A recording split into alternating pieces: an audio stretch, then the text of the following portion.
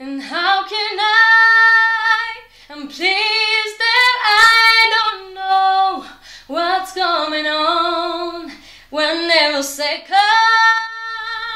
every minute. Լուսինե Աղաբեկյանը նորալիք մրցույթի վերջին նախընտրական փուլին կմասնակցի այն երկերով, որոնց կատարումով Հայաստանում զարմացրել ու հիացրել է հեղինակավոր ժյուրիին։ Բազմաթիվ մրցույթներից հաղթանակով վերադարձած երկչուհին վստահ է, անկախ նրանից Յուրմալայի ուղեգիրը իրեն բաժին կհասնի թե ոչ, Մոսկվայում չի հիաստափեցնի հանդիսատեսին։ Շատ լուրջ եմ վերաբերվում այս մրցույթին, որովհետև միշտ մրցույթների լուրջ վերաբերվել եմ, իսկ սա ամենալուրջը, որովհետև շատ լավ մրցակիցներ ունեմ եւ ուզում եմ, որ ամեն բան լավ ներկայացնեմ, թեկուզ եթե չներկայացնեմ Հայաստանը այնտեղ։ Yo te adoro, mi amor.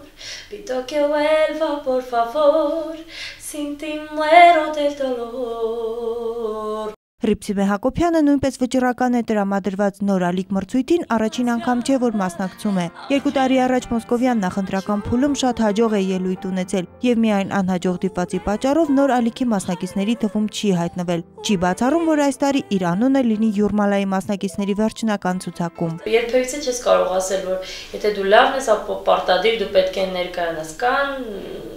չափորոշիչներ, այսպես որ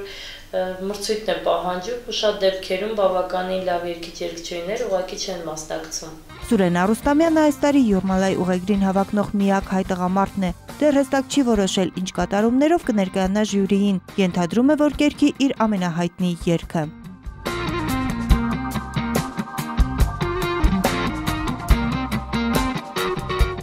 փորձ ունեմ արդեն, գիտեմ այնտեղի ժյուրին ինչի վրա կարող է ուշադրություն դարձնի,